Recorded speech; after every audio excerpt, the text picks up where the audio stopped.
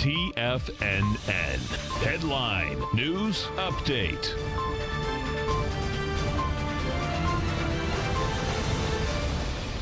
Good afternoon, folks. This is your 1 p.m. update. I'm Steve Rhodes coming to you live from sunny Delray Beach, Florida. Currently, all the indices, with the exception of the transports, are in the green. We've got the uh, Dow. She is uh, trading up. Uh, 39 points, trade out to 27, 731. You've got the S&P's up nine points, it's about three tenths of a percent. The upside NDX up 38 points. Russell's up uh, two.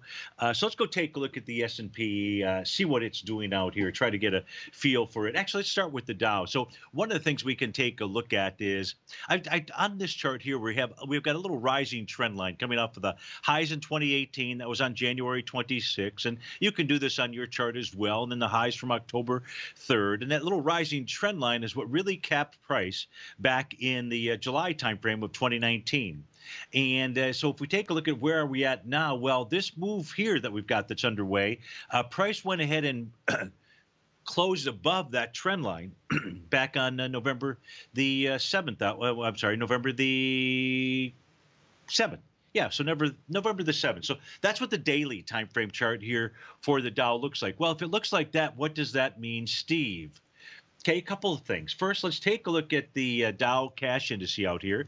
And one of the things that you're going to notice is there's an A to B equals CD pattern that's underway.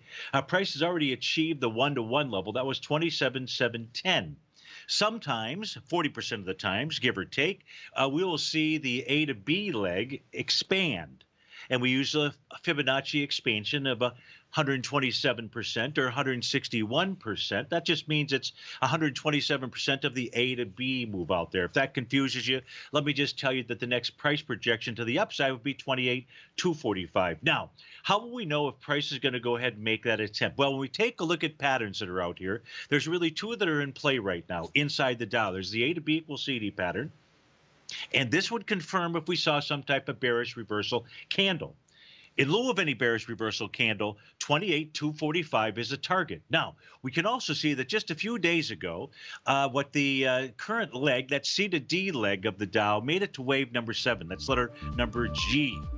Letter number G. That can be a top, but if price clears that high out there, and that high is 27,774, we'll be looking at 28,245 as the next move in the Dow's cash indice. Hey, folks, stay tuned. We'll go through all of the other indices during the next hour. If you're off uh, for the rest of your day, have a terrific Tuesday, and I look forward to seeing you soon. Take care.